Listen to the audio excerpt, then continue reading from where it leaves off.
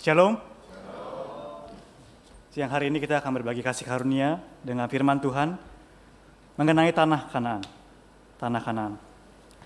Uh, jika saudara ingat minggu lalu di hari ibadah hari Minggu pagi, Pendeta Yun sempat menyebut dalam khotbahnya mengenai tanah Kanaan ini. Yaitu pendeta sebut tentang tanah Kanaan sebagai tanah yang berlimpah susu dan madunya, ya, berlimpah susu madunya. Tetapi ketika kita ke sana dan lihat, ya, ternyata tanah kanan itu tanah yang banyak batu-batunya. Ya. Berbatu-batu tanahnya kanan itu. Dan lebih lagi pendeta yang sebut dalam khotbahnya bahwa orang-orang Israel yang bersungut-sungut dan mengeluh kepada Tuhan, mereka lihatnya apa? Mereka lihatnya bahwa tanah Mesir yang telah mereka tinggalkan, itulah tanah yang berlimpah susu dan madunya, bukan tanah Kanaan. Ya, ketika saya melihat itu, saya mendengar hal itu saya menerima banyak kasih karunia dan saya pikir mengenai tema ini perlu dijelaskan secara lebih luas. Maka kita akan bahas mengenai tanah Kanaan. Nah, saudara-saudara, ketika kita dengar mengenai tanah Kanaan, apa yang biasanya muncul di pikiran kita? Baik orang yang percaya maupun nggak percaya, ketika dengar tanah Kanaan, pasti pikir, oh itu adalah suatu tanah yang sangat baik. Ya, istilahnya the promised land, ya, tanah yang Tuhan janjikan. Ketika dengar, oh Tuhan yang janjikan. Biasanya kita pasti pikir, uh tanah yang sangat baik. Ya, tanah yang sangat baik pastinya. Dan dalam sejarah Israel, tanah kanan itu sangat penting. Ya. Karena kalau kita lihat di seluruh sejarah bangsa Israel, sebenarnya itu adalah tentang tanah Kanaan atau tanah perjanjian ini. Bagaimana Abraham dipanggil untuk masuk ke tanah itu. Bagaimana orang Israel tinggal di tanah itu, lalu dibuang dari situ ke kerajaan lain, kembali lagi ke tanah itu. Ya. Sepanjang sejarah Israel adalah sepanjang sejarah mengenai tanah Kanaan yang Tuhan janjikan ini. Maka kita akan bahas lebih detail tanah Kanaan itu tanah yang seperti apa dan apa pelajaran yang diberikan kepada kita lewat tanah Kanaan ini. Pandangan seperti apa yang kita harus punya ketika kita membayangkan mengenai tanah Kanaan ini. Pertama kita akan melihat asal mula dari tanah Kanaan atau sejarah Kanaan, ya, sejarah Kanaan. Nah, tentang Kanaan ini pertama kali muncul di Alkitab di mana Saudara? Kanaan adalah anak dari Ham atau cucu dari Nuh. Itu bisa kita lihat di Kejadian pasal 9 ayat 18. Ya, ketika disebut mengenai anak-anak Nuh, Sem, Ham, Yafet. Disebutkan lagi secara khusus, Ham adalah bapak Kanaan disebutkan secara khusus. Ham adalah bapak kanan. Dan seperti kita ketahui Nuh ini siapa? Nuh ini adalah nenek moyang kedua umat manusia. Nenek moyang kedua umat manusia karena peristiwa air bah, semua umat manusia habis karena air bah. Tinggal tersisa Nuh, istrinya, tiga orang anaknya, tiga orang menantunya. Nenek moyang kedua umat manusia. Tetapi setelah air bah tersebut, sifat dosa muncul kembali kan saudara?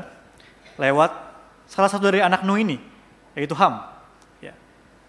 itu di kejadian pasal 9 kita bisa baca dan kita tidak bahas detail mengenai hal itu. Dan karena sifat karena dosa dari Ham ini maka Kanaan anak Ham itu dikutuk kejadian 9 ayat 25 ya, terkutuklah Ham eh terkutuklah Kanaan. Di situ dikatakan kejadian 9 ayat 25 jadi kalau kita lihat di sini pun kita bisa lihat sejarah munculnya Kanaan itu adalah peristiwa yang tidak baik, ya saudara. Awalnya itu kesannya tidak baik. Peristiwa kutuk kepada Kanaan, anak Ham. Lalu kalau kita lihat akar kata dari Kanaan, nama Kanaan, akar katanya adalah Kana. Kana yang artinya dipermalukan, menjadi rendah, ada arti rendah hati juga dan tunduk atau takluk. Ya berhubungan dengan ayat yang tadi kita baca itu, kejadian 9 ayat 25. Kan terkutuklah Kanaan, dia menjadi hamba dari saudara-saudaranya kan. Akar katanya kana, artinya demikian, menjadi rendah. Tunduk atau takluk. Nah jadi ketika kita melihat arti nama ini dan melihat peristiwa munculnya Kanaan di Alkitab, kalau dari mata manusia kita melihatnya, wah ini sepertinya jauh kan dari bayangan tentang kerajaan sorga yang kita bayangkan. Ya. Karena ketika kita dengar kata Kanaan kita pikirnya, oh kerajaan yang Tuhan janjikan kepada kita. Ke mana kita harus kembali? Kampung halaman sejati kita, kerajaan sorga kan. Tapi awal mulanya adalah peristiwa yang seperti demikian. Nah setelah peristiwa ini, 10 generasi sudah itu, ya dari Sem, Ham, 10 generasi sudah itu muncullah Abraham. Abraham di kejadian pasal 11, pasal 11-nya. Di kejadian pasal 11 dijabarkan silsilah keturunan Sem kan, dari Sem sampai kepada Abraham, dan puncak dari silsilah di kejadian pasal 11 ini adalah bagaimana Abraham ini Tuhan pilih dan Tuhan panggil. Ya, pemanggilan Abraham. Nah, Abraham yang Tuhan panggil tersebut dipanggil dari kampung halamannya di Urkasdim dan Tuhan tuntun ke mana? Ke tanah Kanaan. Kejadian 11 ayat 31. Ya, kita bisa petanya di sini. Dari Urkasdim ke tanah Kanaan. Nah dalam perjalanan Abraham Tuhan panggil dari Urkastim ke tanah yang Tuhan janjikan kepada Abraham yaitu tanah Kanaan, Abraham sempat terhenti di tempat yang bernama Haran. Ya, berhenti di tengah perjalanan, berdiam di situ untuk waktu yang cukup lama. Tetapi dari situ Tuhan panggil lagi Abraham. Tuhan panggil Abraham ke tanah Kanaan karena tanah di mana Tuhan mau Abraham berada itu bukannya tanah yang lain, tapi tanah Kanaan.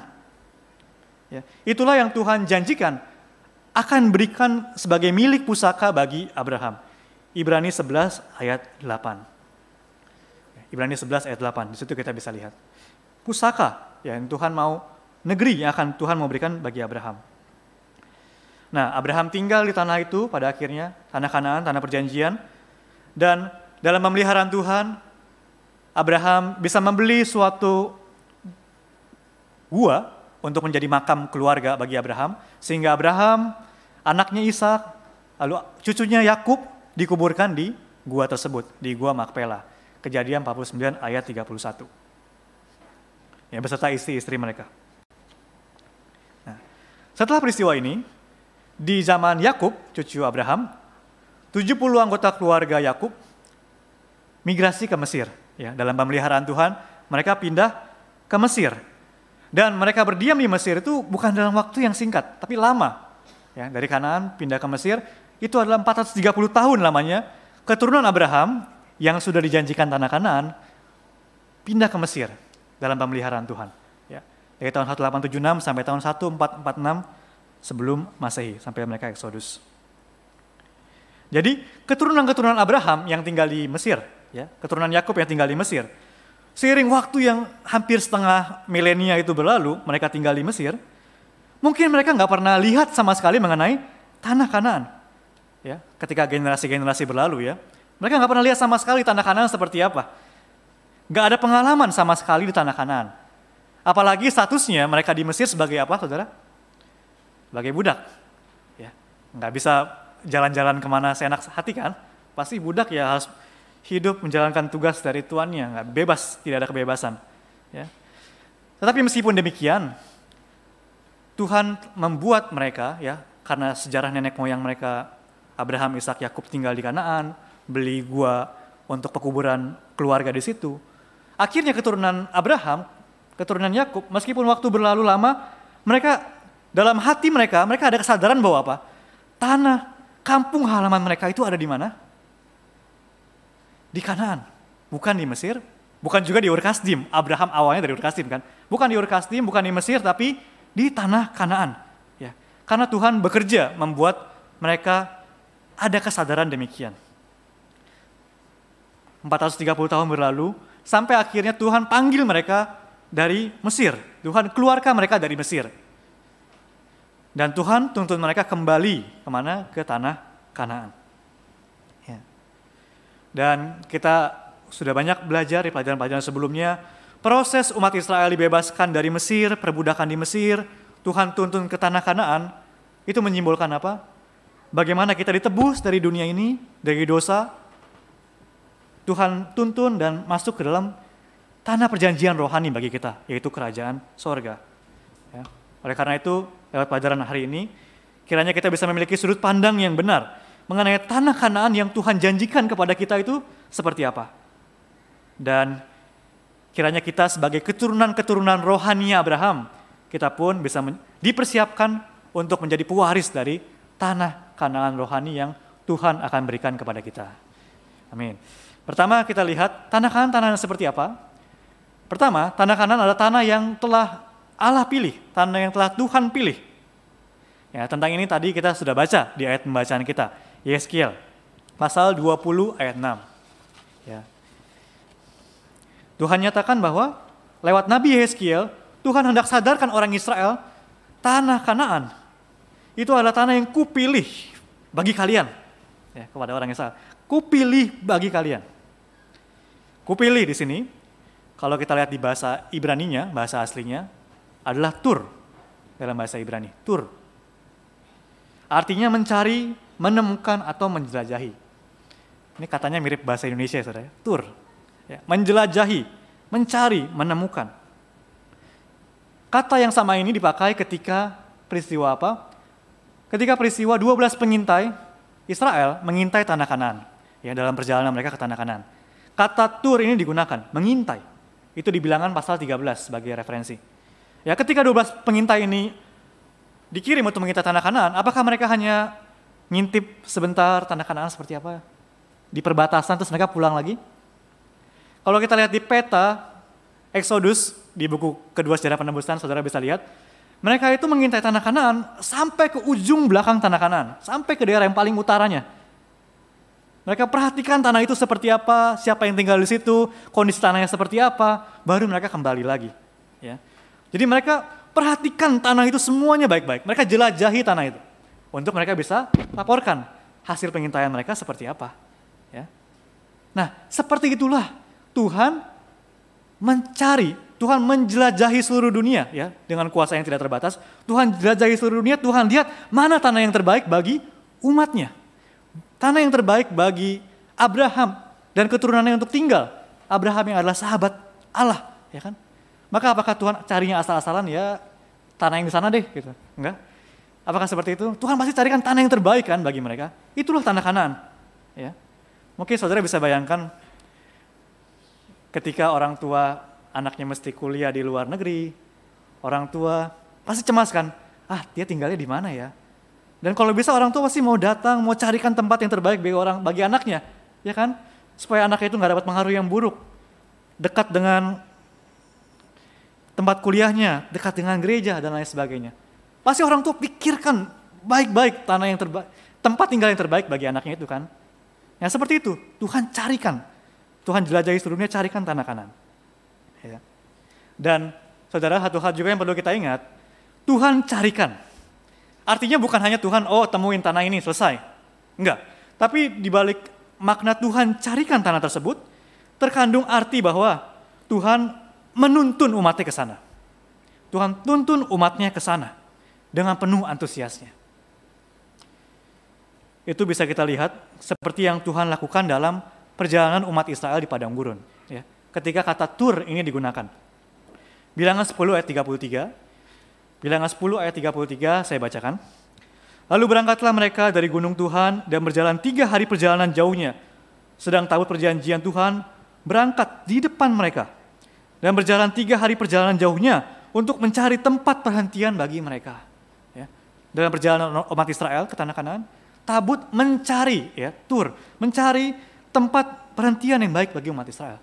Artinya, ke situlah Tuhan tuntun orang Israel untuk berjalan. Ya. Berikutnya di ulangan 1 ayat 33. Ulangan 1 ayat 33. Yang berjalan di depanmu di perjalanan untuk mencari tempat bagimu, di mana kamu dapat berkemah. Dengan api pada waktu malam dan dengan awan pada waktu siang, untuk memperlihatkan kepadamu jalan yang harus kamu tempuh. Ya. Tuhan carikan dan Tuhan taruh antusiasnya untuk menuntun umat Israel ke tempat tersebut. Ya. Dan dari sini, dari pokok ini apa yang bisa kita ingat saudara? Ini mengingatkan kita kepada firman yang Yesus katakan kepada kita mengenai kerajaan sorga. Yaitu seperti Allah mencari dan menyediakan tanah kanaan untuk menjadi pusaka bagi Abraham dan keturunan-keturunannya, Allah juga telah menyediakan bagi kita kerajaan sorga kanaan sorgawi bagi kita semua jemaat-jemaat kudusnya. Kita baca ayatnya Matius 25 ayat 34. Matius 25 ayat 34, saya bacakan. Dan raja itu akan berkata kepada mereka yang di sebelah kanannya, Mari, hai kamu yang diberkati oleh Bapakku, terimalah kerajaan yang telah disediakan bagimu sejak dunia dijadikan. Ya, telah disediakan oleh Tuhan. Lalu Yohanes 14 ayat 2 sampai 3. Yohanes 14 ayat 2 sampai 3. Di rumah Bapakku banyak tempat tinggal. Jika tidak demikian, tentu aku mengatakannya kepadamu. Sebab aku pergi ke situ untuk menyediakan tempat bagimu. Dan apabila aku telah pergi ke situ dan telah menyediakan tempat bagimu, aku akan datang kembali dan membawa kamu ke tempatku. Supaya di tempat di mana aku berada, kamu pun berada. Amin saudara. Ya. Oleh karena itu kiranya kita pun menjalani kehidupan kita di bumi ini dengan memiliki pengharapan yang nyata ya akan kerajaan sorga yang Allah janjikan dan telah sediakan bagi kita sejak dunia dijadikan. Ya. Tapi masalahnya apa saudara? Ada masalahnya. Kadang kita nggak tahu.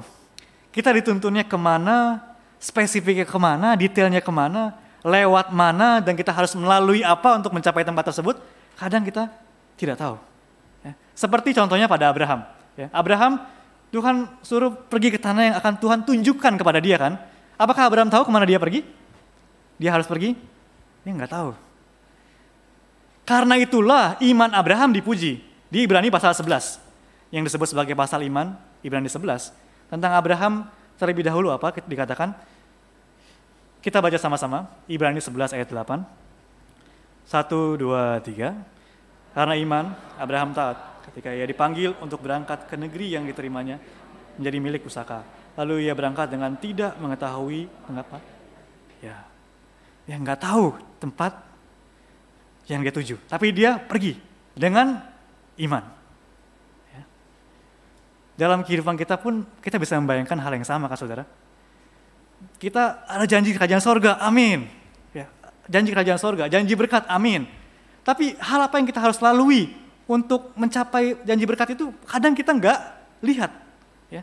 Kadang terjadi hal-hal dalam kehidupan kita, kita pikir, ah Tuhan kenapa hal ini terjadi? Kenapa saya harus melalui hal ini? Ya. Saya, hidup saya mau dibawa ke mana sebenarnya? Ya. Dalam kehidupan kita kita sering pikir seperti itu kan? Ya. Kita mau dibawa ke mana Tuhan? Tetapi kiranya di saat-saat demikian, di setiap hari saat-saat demikian, kita ingat janji Tuhan. Ya. Tuhan telah memilih tanah, tempat yang terbaik bagi kita semua. Dan Tuhan mau menuntun kita ke tanah tersebut. Ya. Maka kiranya dalam segala kebingungan yang tadi yang mungkin kita alami dalam kehidupan kita, kita terus mohon apa? Kita terus mohon tuntunan Tuhan supaya menjadi jelas dalam kehidupan kita. Dalam setiap yang terjadi dalam kehidupan kita. Seperti yang terjadi di padang gurun, orang Israel dituntun Tuhan, mereka ikuti tuntunan tiang awan dan tiang api. Ya. Dan mereka tun ikuti tuntunan tiang awan dan tiang api, bukan hanya hatinya saja yang ikut, tapi seluruh kehidupan mereka harus ikut kan kapan mereka harus berkemah, kapan mereka harus bongkar kemahnya. Semua kehidupan mereka itu harus ikut Tuhan. Nah seperti itulah kita harus mendambakan, kita harus mendomba, mendoakan agar kita bisa melihat tuntunan Tuhan dan bisa ikut dengan seluruh aspek kehidupan kita. Ya. Ya, ketika demikian, maka seperti 144 ribu di kitab Wahyu, Wahyu 14 ayat 4, yang ikut ke mana saja tuntunan anak domba, kita bisa selalu ikut tuntunan Tuhan, dan pada akhirnya kita bisa beroleh kemenangan yang dari Tuhan. Amin. Amin saudara. Aminnya kecil saya jadi jadi berat. Ya, kiranya di saat-saat demikian kita percaya janji Tuhan, berusaha untuk melihat tuntunan Tuhan, memohon tuntunan Tuhan, dan kita ikut tuntunan itu, baik dalam hal besar maupun hal kecil dalam kehidupan kita. Dan percayalah bahwa pada akhirnya Tuhan akan tuntun kita ke tanah pusaka yang telah dia sediakan, tempat terbaik yang ia sediakan bagi kita. Amin. Yang kedua, tanah kanan adalah tanah yang seperti apa? Tanah yang berlimpah dengan susu dan madunya. Tanah yang berlimpah dengan susu dan madunya. Nah, ciri-ciri khusus dari tanah kanan ini, ini muncul ketika Tuhan memanggil Musa. Tuhan panggil Musa untuk keluarkan orang Israel dari Mesir ke Kanaan. Di saat itu, seperti yang tadi kita bahas, orang Israel sudah ada di Mesir untuk waktu yang lama, hampir setengah milenium. Maka mereka nggak tahu tanah kanan itu seperti apa. Tidak ada bayangan, tidak ada pengalaman mengenai tanah kanan. Sama sekali. Makanya di saat itulah Tuhan perkenalkan tanah kanan ini melalui Musa. Keluaran 3 ayat 8. Kita akan baca sama-sama ayatnya. Keluaran 3 ayat 8. Bagian A ini ya. Kita baca 1, 2, 3. Sebab itu aku telah turun untuk melepaskan mereka dari tangan orang Mesir dan menuntun mereka keluar dari negeri itu ke suatu negeri yang baik dan luas. Suatu negeri yang berlimpah-limpah dengan susu dan madunya. Ya. Negeri yang baik dan luas. Suatu negeri yang berlimpah-limpah dengan susu dan madunya. Ini siapa yang katakan? Tuhan yang katakan. Ya. Pertama kita akan membahas apa yang dimaksud dengan negeri yang baik atau tanah yang baik tanah yang baik atau negeri yang baik. Bahasa Ibrani-nya adalah Tov. Tov. Ketika 12 pengintai mengintai tanah kanan, mereka pun, meskipun kita tahu kisahnya seperti apa, mereka takut dan ragu untuk masuk ke sana, tapi mereka mengakui bahwa negeri itu adalah negeri yang baik. Ulangan 1 ayat 25. Ya. Negeri yang Tuhan berikan itu baik. Mereka akui sendiri ya, pengintai-pengintai ini.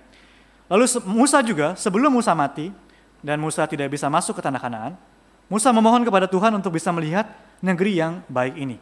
Ulangan 3 ayat 25. Negeri yang baik. Nah, baik, Tov dalam bahasa Ibrani artinya apa? Ketika berhubungan dengan tanah atau negeri, negeri yang baik, artinya itu adalah negeri yang subur. Unggul dalam daya produksi, untuk produksi makanan, ya, dan lain sebagainya dan sangat cocok untuk ditinggali manusia ataupun binatang. Ya, bisa di next slide-nya. Subur, unggul, cocok untuk ditinggali. Ya, makanya dikatakan juga bahwa tanah ini adalah tanah yang berlimpah dengan susu dan madunya. Ya, berhubungan dengan baik ini. Artinya apa? Artinya tanah itu adalah tanah yang dipenuhi dengan buah yang berlimpah. Buah yang berlimpah. Ayat referensinya bilangan 13 ayat 23 dan ulangan 8 ayat 8. Ini kalau saudara baca nanti tentang 12 pengintai. Ketika mereka masuk ke tanah Kanaan dan mereka keluar, eh kembali ke perkemahan orang Israel, mereka bawa apa? Mereka bawa buah-buahan dari tanah Kanaan. Ya, ada satu tandan buah anggur yang harus dibopong oleh dua orang. Lalu mereka bawa buah lima, bawa buah ara dari tanah Kanaan. Ya, jadi itu adalah tanah yang berlimpah dengan buah dan buahnya sangat baik. Dan kenapa buahnya sangat baik dan banyak seperti demikian? Karena itu adalah tanah yang kaya akan air, ya, yang banyak airnya. Tanah yang kaya akan air. Ini dikatakan di ulangan 8 ayat 7. Ulangan 8 ayat 7. Kita baca sama-sama. Satu, dua, tiga. Sebab Tuhan Allahmu membawa engkau masuk ke dalam negeri yang baik. Suatu negeri dengan sungai, mata air dan danau. Yang keluar dari lembah-lembah dan gunung-gunung. Ya. Negeri yang dengan sungai, ada mata air, ada danau. Karena keluar dari lembah-lembah dan gunung-gunung. Nah, oleh karena itu, ungkapan lainnya mengenai tanah kanan ini berhubungan dengan kondisi yang seperti demikian di Yeskiel 20 ayat 6 dikatakan itu adalah tanah yang permai. Tanah yang permai. Bahasa Ibraninya permai adalah sebi, ya. Saya next lagi. Sebi yang artinya indah, berkilau atau kemuliaan. Tanah yang permai. Hmm.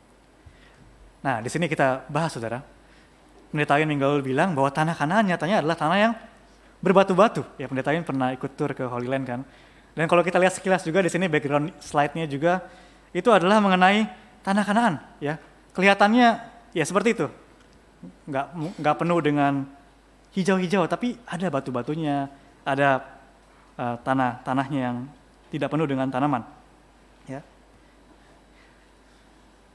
Tapi apa saudara? Firman Tuhan katakan bahwa tanah kanan ini adalah negeri yang baik, yang berlimpah susu dan madunya, negeri yang berkilau, ya, yang negeri kemuliaan. Itu Tuhan yang bilang, ya.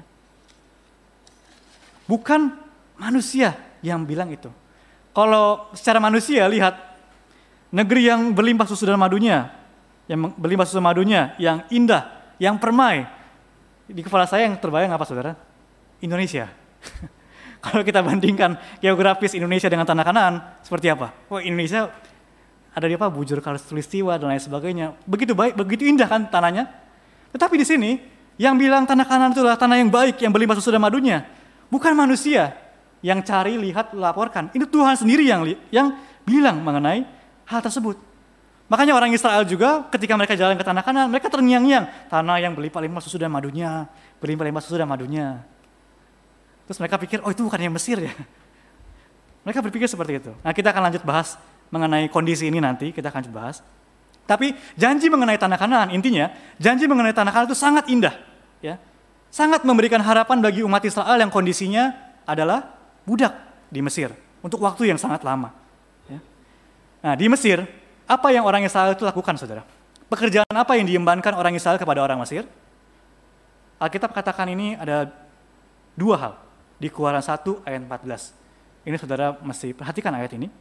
Yang diembankan kepada mereka adalah mengerjakan tanah liat dan batu bata. Artinya untuk konstruksi, untuk pembangunan di Mesir. Mereka membangun kota perbekalan kan, Pitom, Ramses, dan lain sebagainya. Setelah itu, mereka bekerja di berbagai pekerjaan-pekerjaan di padang atau di ladang. Pekerjaan di padang ini berhubungan dengan apa? Ini pekerjaan yang berhubungan dengan mengairi ladang-ladang orang Mesir untuk bisa menghasilkan hasil ladang. Ya. Kita tahu Mesir itu adalah daerah yang seperti apa di benua Afrika. Mesir adalah daerah yang banyak padang pasirnya, daerah yang kering. Tetapi kenapa Mesir bisa begitu maju peradabannya? Begitu maju pertaniannya? Karena ada sungai Nil. Sungai Nil bagi orang Mesir sungai yang besar dan airnya sangat deras yang mengalir di sepanjang daerah orang Mesir. Tergantung meluapnya sungai Nil ini sekali setahun. Nah, itu garis yang warna hitam-hitam di peta itu itu semua cabang-cabang dari sungai Nil, Saudara. Ya, menyebar ke area-area Mesir. Tergantung bagaimana meluapnya sungai Nil ini, ya, ketika musim itu meluap, misalnya dari sungainya segini jadi panjang segini. Nah, daerah di sekitar sungai Nil itu menjadi subur berwarna tanahnya agak kehitam-hitaman. Sangat subur untuk pertanian. Dan untuk mengairi air ini lebih luas lagi, maka diperlukan tenaga kerja untuk mengalirkan airnya ke sana. Dan hal tersebut diduga dikerjakan oleh orang Israel ketika mereka diperbudak di Mesir. Ya. Tadi pekerjaan di padang tersebut yang dikatakan di Keluaran 1 ayat 14. Ya. Makanya sungai Nil ini karena sangat menjadi penghidupan bagi orang Mesir, Makanya sungai Nil ini disembah sebagai dewa di Mesir. Ya. Nah, diperlukan tenaga untuk bisa mengolah dan menyebarkan air sungai Nil ini. Ya, maka perlu kerja keras. Penghidupan orang Mesir tergantung pada sungai Nil ini. Kita baca di ulangan 11 ayat 10. Ulangan 11 ayat 10. Kita baca sama-sama. Ulangan 11 ayat 10. 1, 2, 3.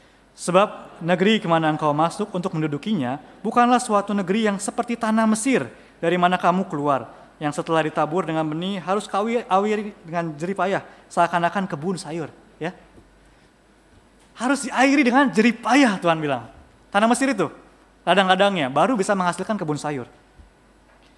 Tetapi berlawanan dengan tanah Mesir yang seperti demikian, tanah kanan itu tanah yang seperti apa? Kita baca ayatnya. Ayat satu ayat setelahnya. Ulangan 11 ayat 11. Kita baca sama-sama satu, dua, tiga. Tetapi negeri ke mana kamu pergi untuk mendudukinya, ialah negeri yang bergunung-gunung dan berlembah-lembah, yang mendapat air sebanyak hujan yang turun dari langit. Ya. Di sini perbedaannya. Di Mesir apa yang mereka harus lakukan? Mereka harus berjerih payah mengairi ladang mereka, harus kerja keras, baru bisa menghasilkan hasil tanah. Tapi di tanah kanan, apa yang harus mereka lakukan? Melihat ke langit. Tanah kanan adalah tanah yang mendapat air sebanyak hujan yang turun dari langit. Langit atau hujan, ya, manusia tidak bisa berkuasa sama sekali atas hal itu kan, saudara. Kapan hujan, kapan gak hujan, kadang sekarang musim kemarau tiba-tiba hujan terus, berhari-hari ini deras, kadang gak hujan lama. Sekarang mungkin ada teknologi yang bisa menangkal hujan, tapi berapa lama ditangkalnya? Gak bisa lama-lama kan. Prediksi hujan pun nggak bisa prediksi hujan yang detail, akurat kapan hujan turun nggak, nggak bisa. Ya. Dengan kata lain, hujan dari langit adalah sesuatu yang sepenuhnya atas kedaulatan Tuhan, sepenuhnya atas kedaulatan Tuhan. Ya. Jadi seperti Tuhan lewat firman ini, apa yang Tuhan firmankan kepada mereka? Apa yang Tuhan pesankan kepada mereka? Yaitu apa? Di tanah Kanaan, tanah yang kujanjikan kepada kalian, hiduplah dengan memandang kepadaku dan bersandar kepadaku. Ya. Bukan atas hasil jeripaya atau kerja kerasmu sendiri. Seperti di tanah Mesir. Ketika demikianlah, maka apa? Tuhan yang menyediakan. Tuhan yang akan memberikan kelegaan dan penghidupan bagi mereka. Makanya tanah Kanaan adalah tanah yang apa? Tanah yang Tuhan pelihara. Tanah yang Tuhan pelihara, di mana perhatian Tuhan terus ada di tanah itu di sepanjang tahun. Kita baca ayat berikutnya, ulangan 11 ayat 12. Ulangan 11 ayat 12, kita baca sama-sama. Satu, dua, tiga. Suatu negeri yang dipelihara oleh Tuhan alamu, mata Tuhan alamu tetap mengawasinya dari awal sampai akhir tahun. Amin. Ya. Ketika Tuhan awasi, apakah ada kekurangan? Enggak akan ada kekurangan. Ya. Tapi di sini yang kita tidak boleh salah paham. Bukannya artinya mereka tidak perlu kerja sama sekali. Wah, tinggal tunggu aja Tuhan kasih berkatnya, lihat ke langit, engkang-engkang kaki. Bukan. Ya. Mereka pun harus bekerja dengan rajin. Apa pekerjaan yang mereka lakukan? Apa saudara? Gali sumur. Ya, menggali sumur untuk menampung air hujan itu. Air hujan yang akan dituangkan dan harus diserap oleh tanah akan diserap oleh sumur untuk ditampung.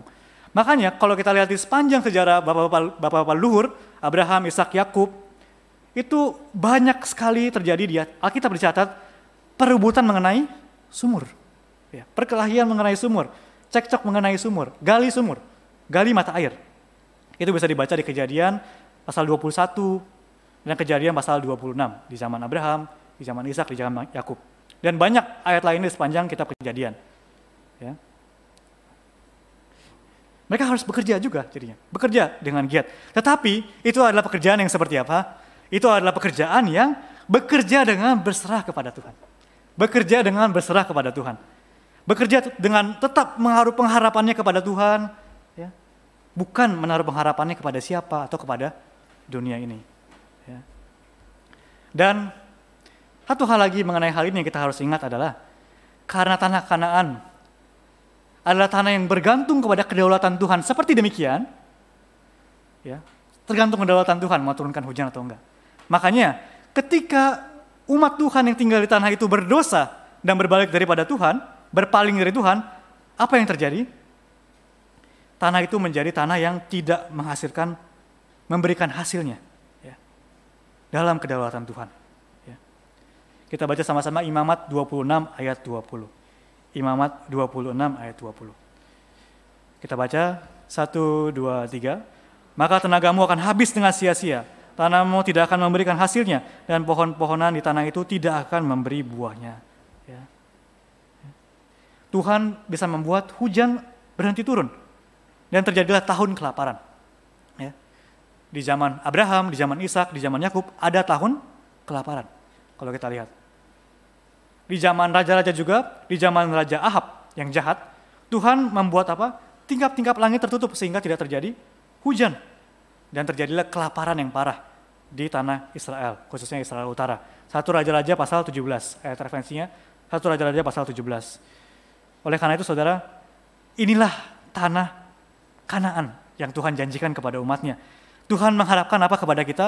Kita menaruh pengharapan kita hanya kepada Tuhan, bukan atas jeripaya ataupun usaha kita sebagai manusia. Ya. Bekerja dengan berserah kepada Tuhan, itulah yang Tuhan harapkan. Oleh karena itu, kiranya kita bisa menjalani kehidupan kita dengan selalu melatih diri kita. Mempersiapkan hati kita untuk apa? Hanya memandang dan bersandar kepada Tuhan. Ya. Dengan demikian, percayalah saudara, maka Tuhanlah yang akan menyediakannya bagi kita. Tuhanlah yang akan memberikan air hidup kepada kita, yang akan membuat kita tidak lapar atau tidak haus-haus lagi untuk selama-lamanya. Amin. Kita baca ayat Yohanes pasal 6 ayat 35. Yohanes 6 ayat 35. Saya bacakan. Kata Yesus kepada mereka, Akulah roti hidup. Barang siapa datang kepadaku, ia tidak akan lapar lagi. Dan barang siapa percaya kepadaku, ia tidak akan haus lagi. Amin. Ya. Tuhan ingin memberikan kita apa? Tidak lapar-lapar, tidak haus-haus lagi. Cuma untuk kita bisa menerima berkat itu, apa yang Tuhan mau kita lakukan? Tuhan mau kita jangan salah sandarannya. Itu yang Tuhan mau. Sandarannya jangan salah. Ya. Bukannya Tuhan mau kita susah, lapar, kekeringan, tadi kan kekeringan, kelaparan. Bukannya Tuhan mau itu. Tuhan mau kasih kita nggak lapar, nggak haus. Hanya Tuhan ingin buat kita, sandaran kita jangan sampai salah. Ya. Itulah tanah kanan. Berikutnya tanah kanan adalah tanah yang luas. Ya, tanah yang luas. Tanah Kanaan itu luasnya seberapa, saudara? Nyatanya tanah Kanaan itu luasnya tidak terlalu luas kalau kita bandingkan dengan negara-negara. Ini contohnya, tanah Kanaan itu yang biru di tengah-tengah Amerika itu, yang sebelah kanan saudara itu peta Amerika, eh kiri saudara itu Amerika. Tanah Kanaan itu kecil di tengah-tengahnya. Atau dibandingkan dengan Mesir, ya Mesir yang kita bahas ini, tanah Kanaan itu yang warna biru di tengah-tengahnya. Itu tanah Kanaan.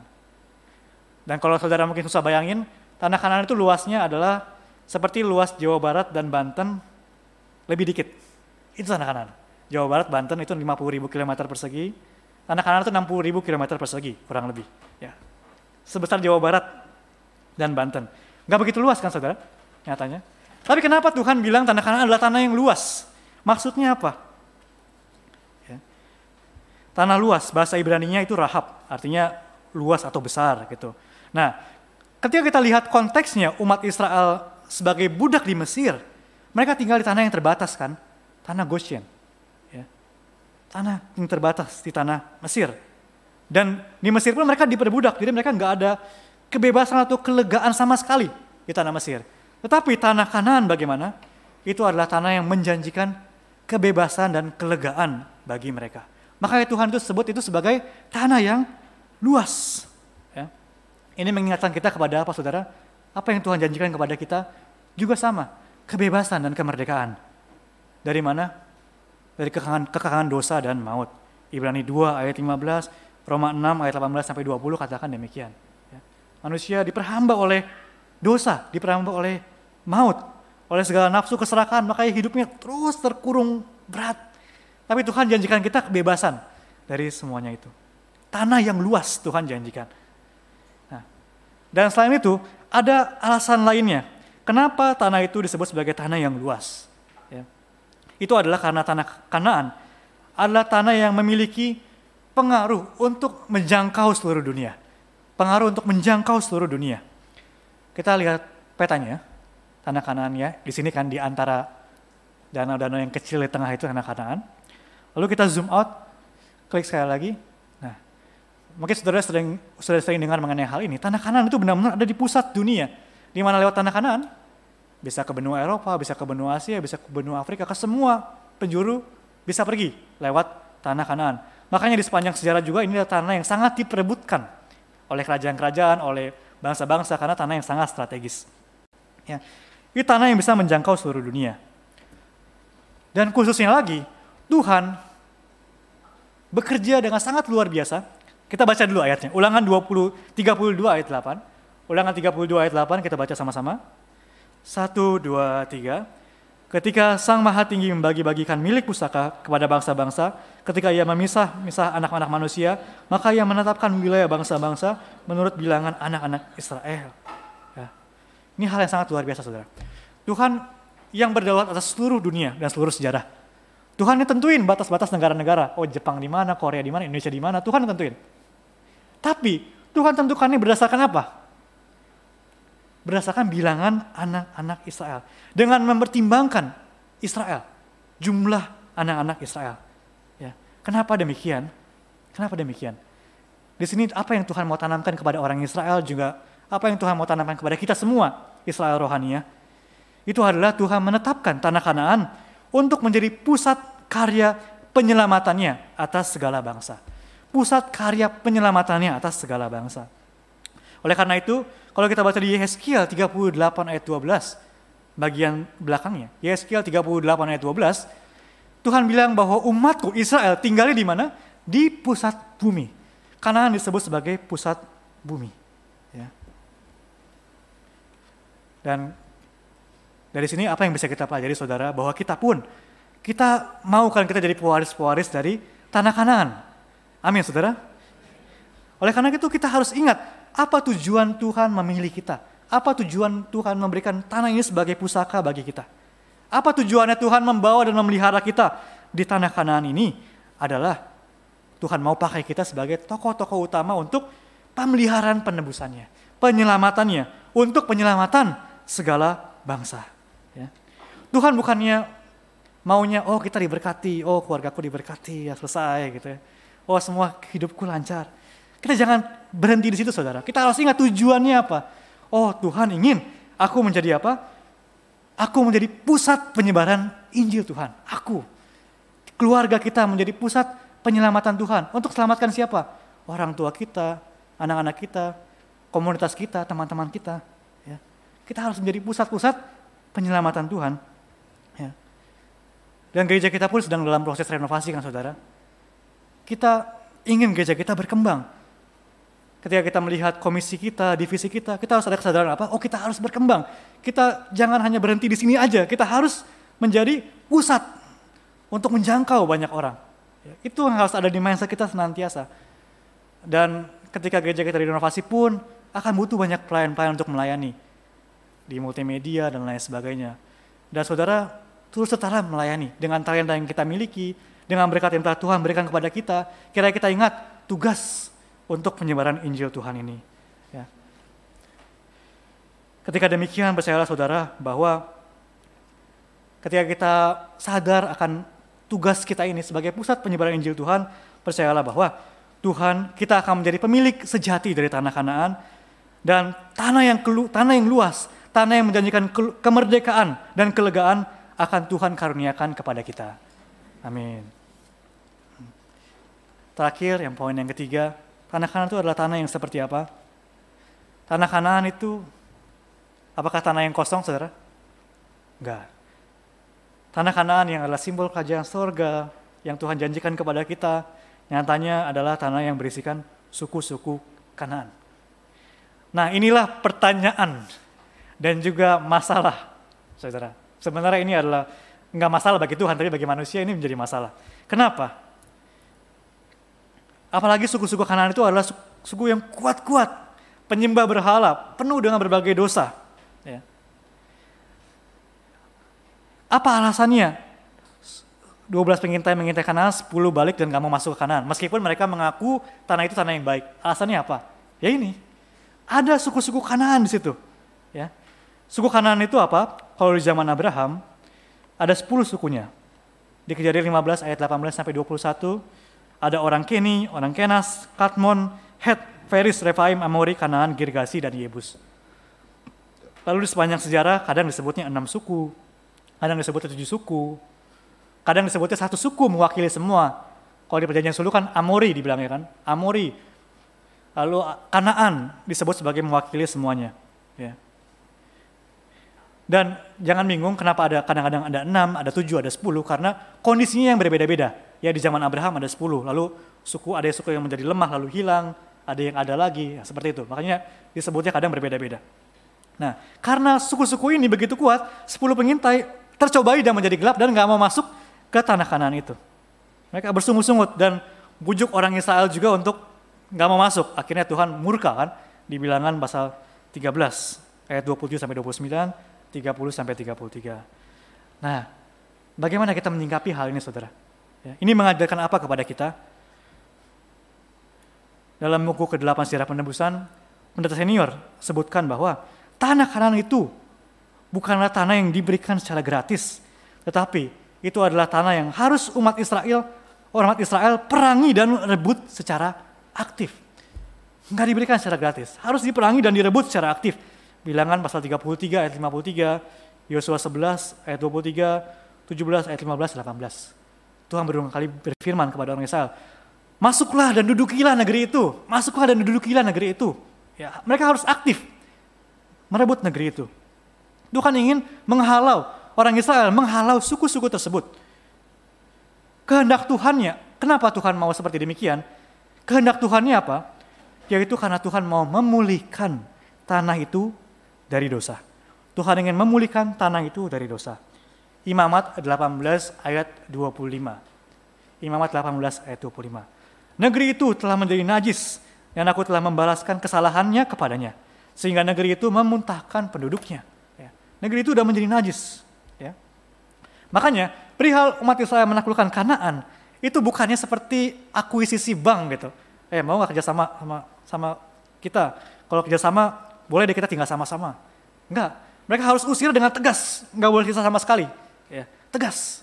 Ya. Karena apa? Itu adalah bukan perihal hanya ekspansi wilayah saja, tapi kehendak dasarnya adalah mengalahkan dosa atau menghalau dosa. Memulihkan tanah itu dari dosa. Makanya Tuhan perintahkan dengan tegas, jangan tinggal berdampingan dengan suku-suku Kanaan itu. Jangan kawin campur dengan mereka, tetapi mereka harus dihalau sepenuhnya, baik anak-anak, istri, binatang-binatang mereka, ternak-ternak mereka. Sangat, kelihatannya sangat gak manusiawi kan. Ada yang pernah bertanya hal ini, kan Tuhan bilang jangan membunuh. Kok orang Israel masuk kanal semuanya harus dibunuh? Gimana kita memandang hal itu? Siapa sesama yang Tuhan maksud sehingga orang Israel masuk kanan jangan disuruh bunuh semuanya seperti itu? Ya. Kita harus lihat kehendak mendasar Tuhan dari hal ini saudara. Tuhan ingin memulihkan tanah itu dari dosa. Dan itu bukan tujuan akhirnya. Berikutnya ada lagi, kita akan bahas nanti. Dan seperti demikian saudara, kita melihat ini seperti apa dalam kehidupan kita. Ya. Bahwa Tuhan ingin kita mengalahkan dosa yang ada dalam diri kita.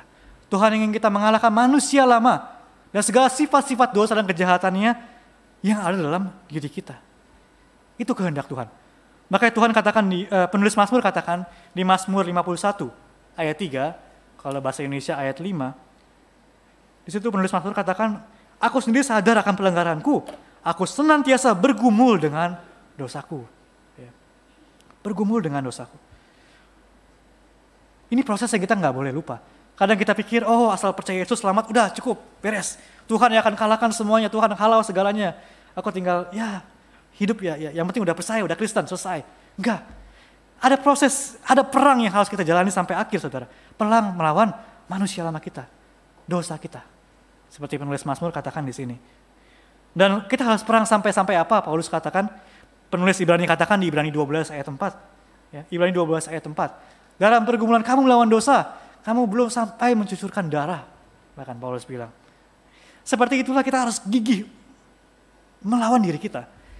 Jangan, ah ya saya orangnya begini, saya emang gak bisa ini, saya, aduh saya paling benci sama orang kayak gitu tuh, makanya saya gak bisa tuh orang kayak gitu. Jangan katakan itu dengan bangga saudara. Katakan itu dengan doa di hadapan Tuhan sambil menangis. Untuk bisa mengasihi, gak membenci. Untuk bisa melepaskan sifat-sifat manusia lama kita yang belum bisa kita lepaskan sampai saat ini. Ya. Dan pada akhirnya apa? Ketika kita mau menjalani perang itu, kita mau maju menjalani perang itu, akhirnya Siapa yang menyertai kita? Tuhanlah yang menyertai kita. Dan Tuhanlah yang menghalau musuh-musuh tersebut di hadapan umat Israel, di hadapan kita. Amin, saudara. Ini pengharapan yang sangat besar kepada kita. Ayat referensinya Yosua 10 ayat 14, ayat 42, pasal 14 ayat 12, pasal 23 ayat 3, ayat 5, ayat 9 sampai 10. Ya. Memang itu bukan hal mudah, tapi kita percaya ketika kita mau bersama-sama dengan Tuhan, maka Tuhan akan membawa kita menuju kemenangannya. Ya. Dalam sejarah tanah Kanaan, apakah berhasil umat Israel kuasai? Ketika mereka masuk, mereka nggak berhasil menguasai seluruhnya. Di zaman hakim-hakim ya, setelah mereka masuk ke dalam tanah Kanaan, mereka nggak bisa kuasai sepenuhnya. Mereka hidup berdampingan dengan beberapa suku Kanaan. Akhirnya itu menjadi jerat bagi mereka, menjadi dosa bagi mereka yang menarik iman mereka menjatuhkan iman mereka. Ayat referensinya Hakim-Hakim pasal 1. Ayat-ayatnya dilihat di slide. Dan pada akhirnya baru ketika zaman Raja Salomo lah tanah ini bisa dikuasai sepenuhnya. 2 Tawarik pasal 9 ayat 26. Ya. Jadi apa yang diajarkan hal ini kepada kita saudara? Ya. Dalam buku ke-8 Ciri-Ciri Penebusan yang baru saja keluar e ini saudara, sangat penuh dengan kasih karunia ketika saya membaca buku ini. Pendeta senior menuliskan, berpesan seperti dalam buku bahwa di hari ini pun jemaat kudus harus memegang erat perjanjian Allah. Berperang sampai akhir melawan kuasa kejahatan. Dengan iman untuk mengenapi perjanjian. Dan ya beroleh kemenangan. Ya, sampai beroleh kemenangan. Ayat referensinya beliau tulis dalam buku. Ya, harus berperang sampai akhir sambil ingat perjanjian Tuhan. Ya. Sambil berpegang dengan Tuhan. Bukan sendirian, sendirian nggak akan bisa. Mau gimana pun nggak bisa. Harus bersama-sama dengan Tuhan. Ya. Dan apa? Ketika Salomo rohaniah, yaitu Raja Damai, Tuhan kita datang kembali ke dunia ini, ya, bersama-sama dengan kita, barulah pada akhirnya apa? Tanah Kanaan rohania kerajaan sorga akan diwujudkan dengan sempurna. Amin. Kesimpulannya saudara, hari ini kita telah belajar beberapa ciri-ciri khusus dari tanah kanaan. Sejarah bangsa Israel, sejarah bapak leluhur, itu semua adalah tentang bagaimana mereka dipanggil masuk oleh Tuhan ke tanah perjanjian ini. Dan bagaimana Tuhan mau memulihkan tanah ini. Untuk apa? Tujuan akhirnya adalah lewat tanah kanaan ini Tuhan hendak memulihkan seluruh dunia. Lewat tanah kanaan ini Tuhan hendak memulihkan seluruh dunia. Dan kiranya kita pun lewat pelajaran hari ini, kiranya kita bisa diingatkan untuk menjalani kehidupan kita dengan mengikuti tuntunan Tuhan senantiasa. Bersandar hanya kepada Tuhan. Berpartisipasi dalam pekerjaan penyebaran Injil Tuhan. Penyebar luasan kerajaan Allah. Dan di saat yang demikian kita pun ingat untuk menjalani kehidupan hari demi hari berperang melawan dosa dan kejahatan. Dan percayalah saudara, akhir kata, dengan demikian Percayalah bahwa kita semua akan menjadi jemaat-jemaat kudus yang Tuhan pelihara senantiasa. Tuhan taruh perhatiannya kepada kita dari awal tahun sampai akhir tahun. Tuhan berikan kemenangan kepada kita sehingga pada akhirnya kita semua bisa menjadi puaris-puaris kanan rohaninya kerajaan sorga. Amin. Mari kita berdoa. Allah Bapa kami yang kami kasihi, yang berdaulat atas sejarah manusia dari dulu sampai selama-lamanya. Kami sungguh mengucap syukur Bapa, karena di hari Tuhan yang kudus ini, kami bisa menaikkan ibadah kami, sekali lagi di hadapanmu bisa menerima firman Tuhan dan menguji engkau sekali lagi. Allah Bapa, kami merenungkan mengenai tanah kanaan yang kau janjikan kepada umat pilihanmu. Bapa, kiranya kami bisa menjadi keturunan-keturunan rohani Abraham yang sejati, yang menjadi puaris-puaris dari tanah kanaan. Tolong bantu agar kami bisa senantiasa ikut tuntunan Tuhan dalam hidup kami. Kami berjerih payah untuk pekerjaan penyebaran Injil Tuhan, berpartisipasi. Dan meski Bapak sampai saat ini ada begitu banyak dosa-dosa yang manusia lama kami yang belum bisa kami taklukkan sepenuhnya di hadapanmu, kiranya Bapak bersama-sama dengan Engkau, tolong sertailah kami sehingga kami bisa berjuang sampai akhir melawan dosa dan pada akhirnya Engkau lah yang bisa membawa kesempurnaan kepada kami. Allah Bapa, Sebentar lagi kami akan menaikkan doa-doa dan pujian kami di hadapanmu. Kiranya doa dan pujian kami ini bisa berkenan kepadamu dan memuliakan namamu. Di dalam nama Yesus Kristus, kami mengucap syukur dan berdoa. Amin. Ya bagi Tuhan.